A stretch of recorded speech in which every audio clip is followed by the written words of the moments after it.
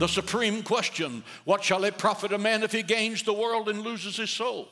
Only Jesus could answer that question. He alone knows the value of the earth because he and the Father created it on Genesis morning. He knows where every diamond is located, and it's not on your hand. There is something else he knows that you do not know. He knows how long eternity is going to be without God. Your mind cannot grasp a million years, it cannot grasp 10 million years, but God can. It's called eternity, and it never, never, never ends. The Bible says your life is like grass that's cut down in the morning and wilts before the noonday sun. But when you wake up in eternity, you're going to live forever and forever and forever and forever and forever and forever. It will never end. Consider the value of your soul. The value of your soul caused God the Father to take his son to the edge of eternity and tell him the seed of the woman must be born to destroy the influence of Satan on the earth. The value of your soul forced him, Jesus, to allow Herod's men of war to spit on him, to slap his face, to place a purple robe on his back and mock him, to place a crown of thorns on his head and press it until it pierced the skull, saying, Hail, King of the Jews! The value of your soul drove him to Pilate's whipping post to be beaten bloody for your healing. Listen to the sound of that whip sizzling through the air. And every time it hits the back of the Son of God, snatching flesh and meat from the, from the body of Christ, the dripping of the blood of the Son of God on the cobblestones. By his stripes we are healed. Thank you, God, that every sickness and every disease is under the power of the healing of the great physician, Jesus Christ of Nazareth. Put your hands together and give him highest praise in the house of God.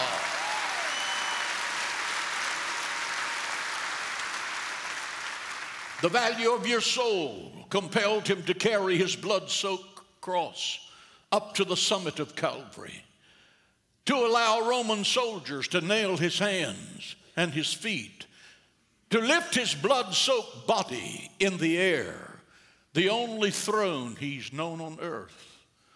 He sobbed, My God, my God, why have you forsaken me? It's the only time that Jesus ever called God the Father God. Every other time it was Father. Why? Because he had become sin for me and for you. And God could not look upon sin. So he was there alone.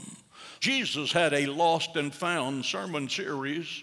It's in the Bible, it's the parables. There are four ways to be lost. Listen closely. He talked about the lost sheep, the lost coin, the lost boy, the prodigal, and the lost elder brother. Let me touch quickly on those. Consider the lost sheep. The sheep was not lost because the sheep plotted with cunning to avoid the leadership of the shepherd. Sheep are basically stupid. The sheep was lost because of its careless meandering until it fell into a deep ditch. Its bleating voice was a lunch bell for a lion or a wild wolf. Are you lost from God because of your careless meandering and your foolish choices? Choices have consequences. It may take five or ten years for them to catch up to you, but they will catch up to you. Be sure your sin will find you out. If humans don't find you, God will shout it from the housetop himself. God's a tattletale. Yeah, he'll rat you out for sure. When Jesus saw the people as sheep without a shepherd, he was moved with compassion. The Greek text there reads, His bowels were wrenched with emotion. It broke his heart. He saw them already wounded and dead from Satan's attack because a sheep without a shepherd is dead already.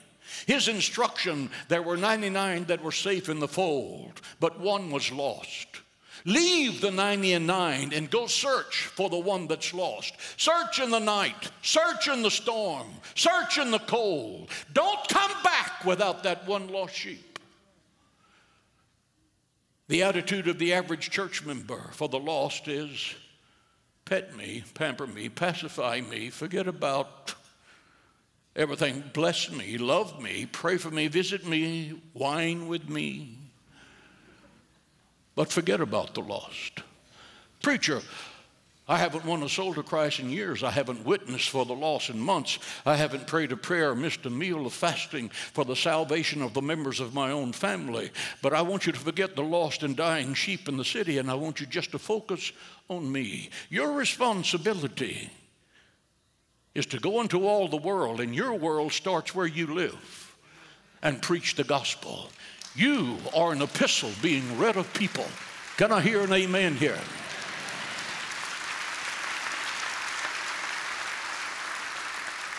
Wake up, church. The soul that sinneth shall surely die. Say that with me. The soul that sinneth shall surely die. That's the Bible. People without Christ go to an eternal hell. Eternity is a long, long time. There is no such thing as purgatory. There are no rich relatives to bail you out.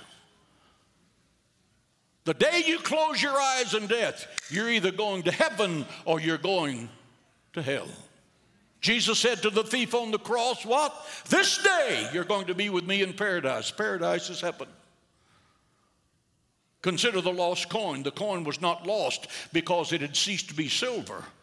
It still belonged to the master of the house, but it was lost because it was out of circulation. And being out of circulation, it had no service. And since it had no service, it was useless.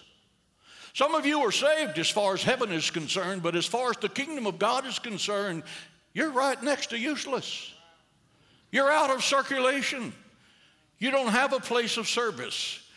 You attend church when it's convenient. If you don't go to God's house on earth, how is God going to take you to his house in heaven? If you're uncomfortable with people praising the Lord and clapping their hands, you're going to be one miserable wretch when you get to heaven. That's what we're going to do over there.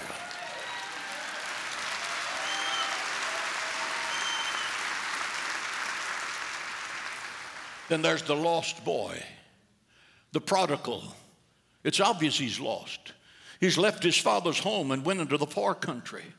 He's wasted his life. He's wasted the fortune. He's ruined his father's good name. He got tired of his father's stuffy rules of righteousness. Jumped on his Honda, popped the front wheel, and zipped down Highway 10 going to Dallas to live like Big Bad J.R. Ewing. He wanted to do his own thing. But the more he got what he wanted, the less he wanted what he got. He left home saying, Give me. Now, let me show you the arrogance of that. The firstborn in a Jewish family got two thirds of the inheritance, and no one got anything until the first boy got his. Why? Because it was his responsibility to train all of the other stu- all of the other children in the principles of righteousness and to financially assist them get started in a business or a marriage on an equal basis. See how much sense that makes? But here comes this punk. He stuck his hand out saying, Give me. He came home a few months later saying, Make me. Make me as one of your hired servants. He left home saying, Daddy O. He came home stinking like a pig and said, Oh, Daddy. He went for pleasure and for power. He came home penniless and putrid and saturated in shame. He left home a son and he came back a slave. He was an open rebellion to the will of the Father. Or you? Or you? Or you? Obedience is better than sacrifice. Say that with me. Obedience is better than sacrifice. That's a Bible verse, by the way. That means God had rather for you to obey Him than to give Him $10,000. God doesn't need the money. He owned it before you got it. And when they put you in a box, He'll still own it. But He wants you to obey Him because your obedience is validation that He's Lord of your life.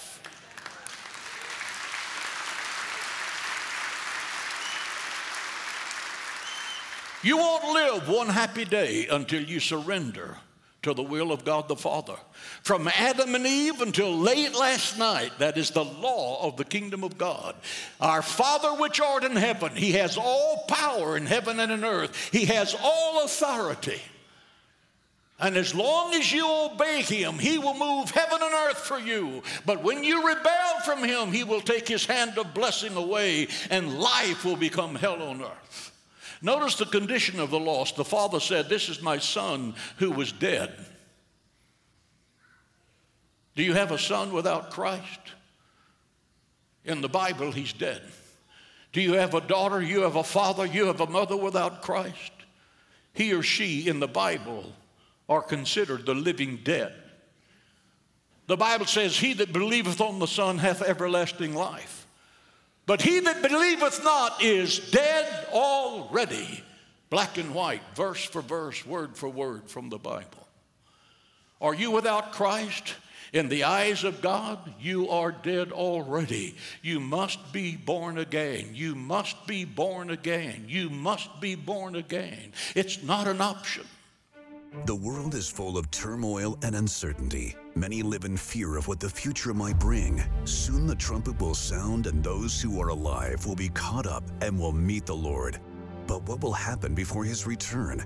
There are signs everywhere that the rapture is near. Jerusalem is reunited with Israel, and the nations on earth are preparing for war. Through your study of Bible prophecy, you can gain wisdom and prepare yourself for things to come. For your gift of any amount, we'll send you an autographed copy of Pastor Hagee's End of the Age book. For your generous gift of $175 or more, we will also include our Prophecy Bible and an End of the Age study guide. Stay in the Word and share the gospel with your loved ones. The coming of Jesus Christ is imminent. What a day that will be. Receive these resources today. Call the number on your screen or go to jhm.org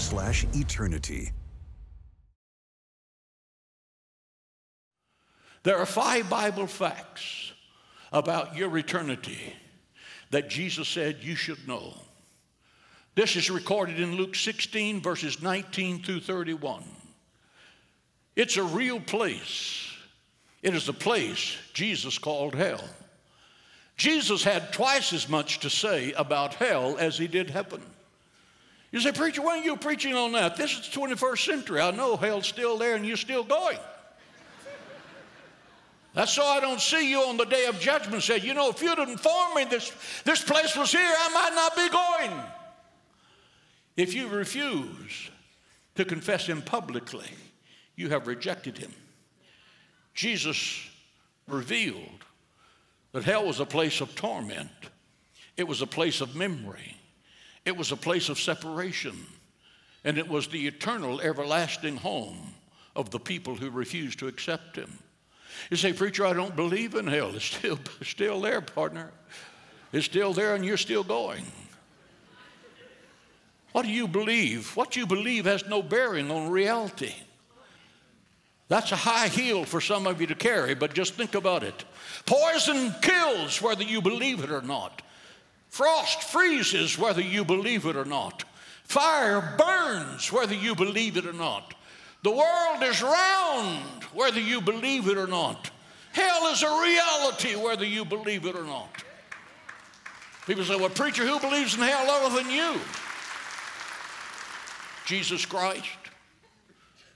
He spoke about hell twice as much as he spoke about heaven in the scripture. Luke 16, 22, 23. The rich man died and was buried, and being in torment in hell, he lifted his eyes and saw Abraham afar off and Lazarus in his bosom. Listen to that.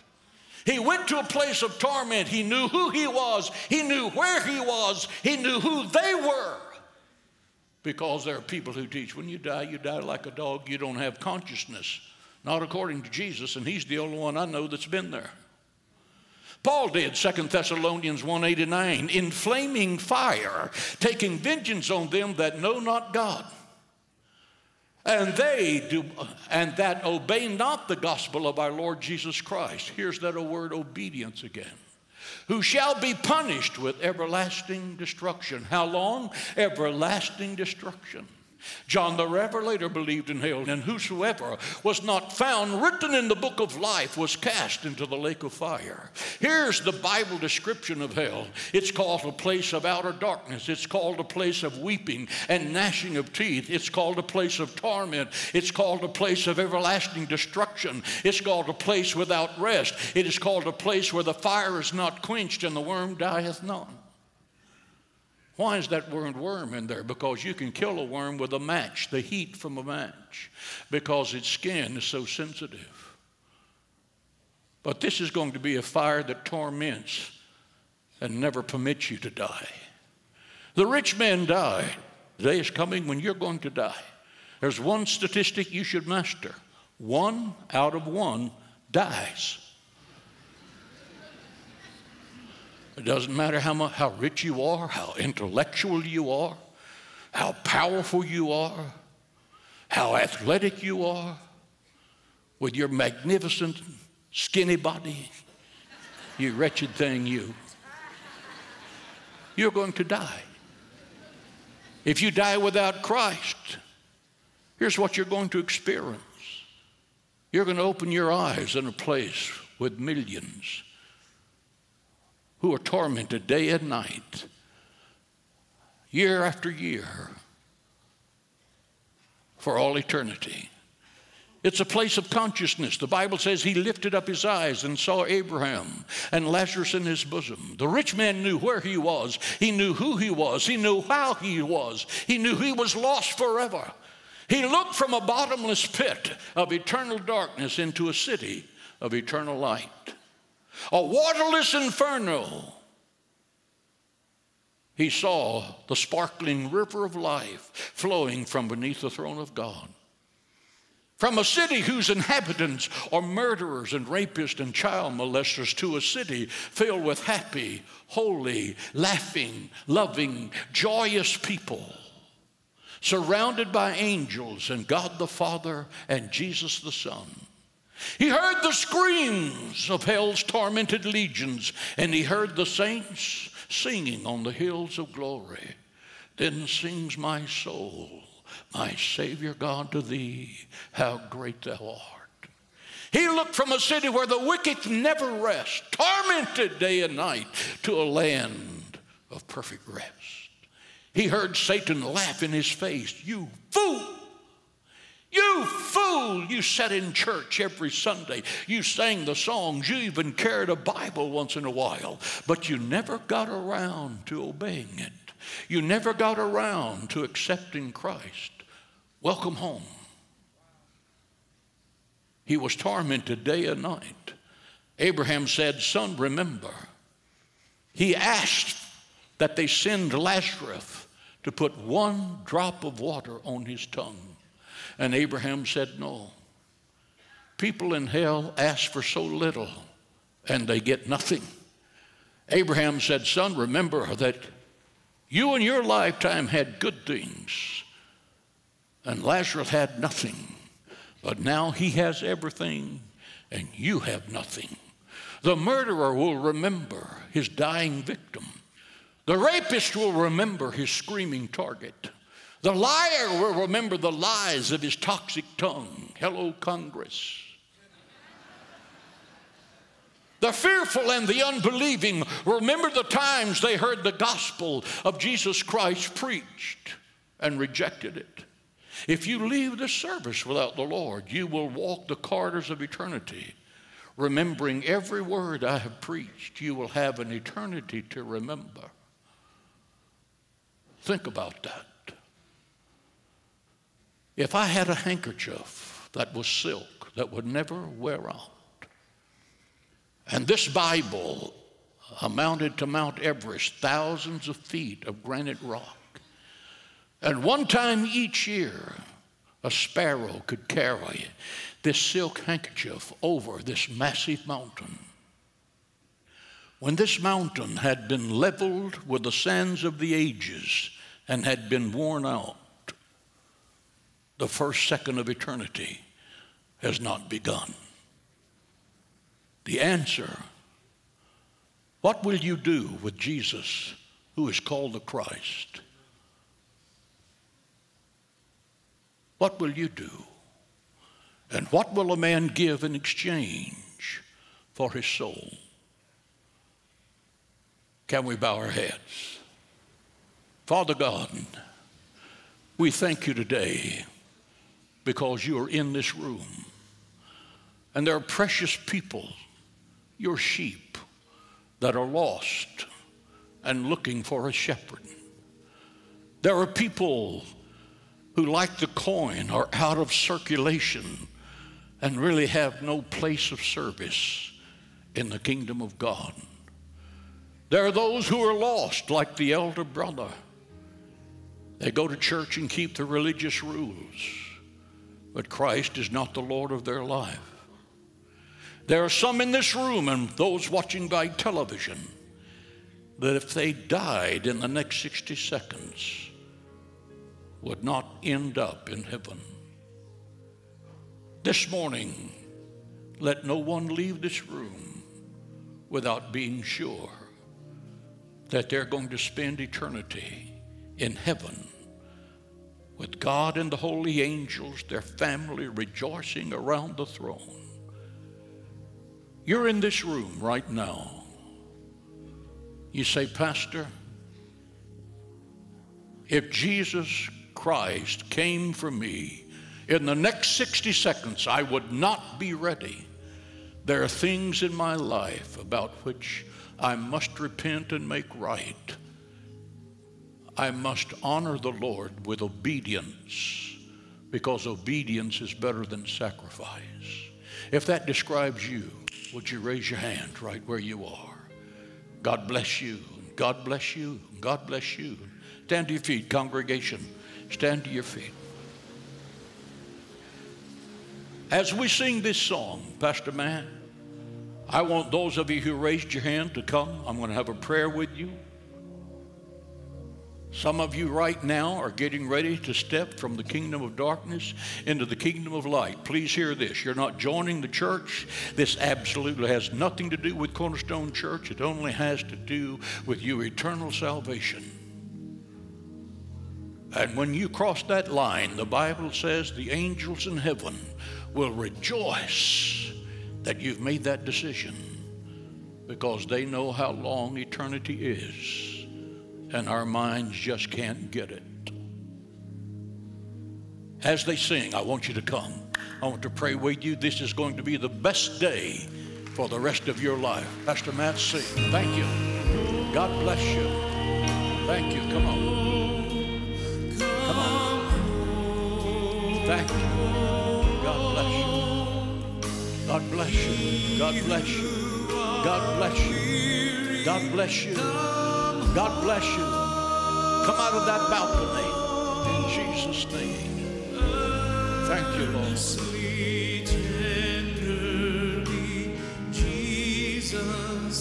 God bless you. God bless you. Here comes two more. Here comes two more. Here comes another. Okay. Give the Lord a shout of victory in the house of God.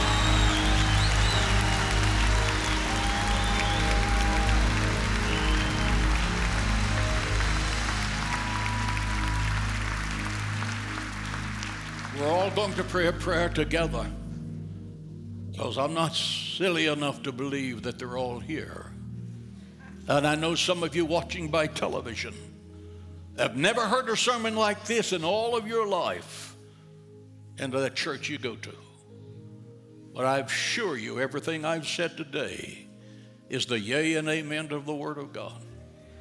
And you want to know the Lord, extend your hand toward the television and let's pray together. Congregation, let's join them around the world as we pray together.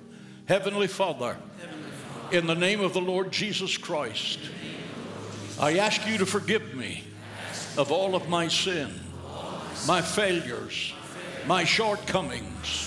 Today, in the authority of Jesus' name, and by the shed blood of the cross, I ask you to forgive me, to cleanse me, to make me righteous, to make me pure, to make me holy.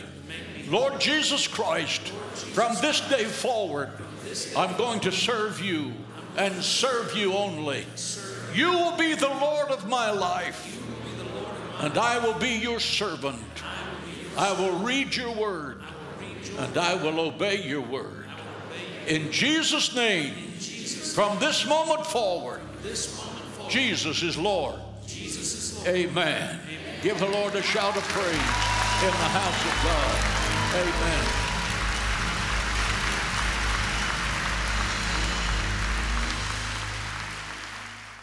We're thankful that you've joined us to hear the gospel of Jesus Christ.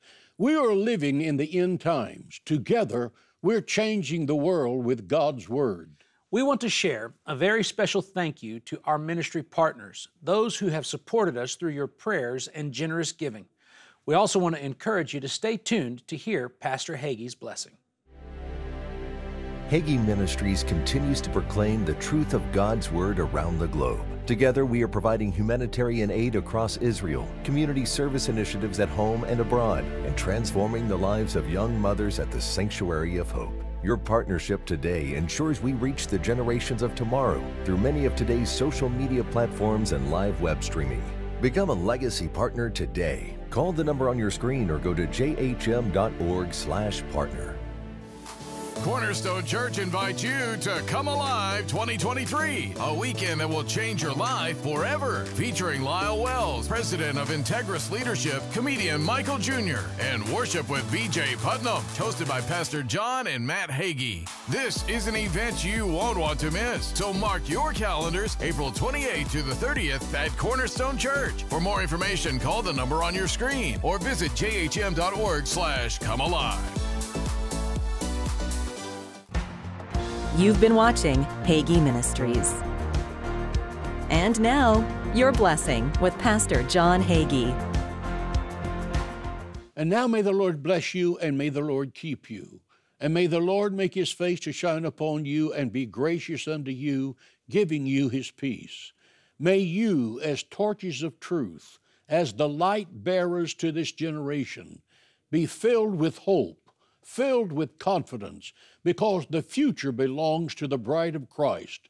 Let God arise and let his enemies be scattered, and let the church triumphant prevail, having the best of things in the worst of times.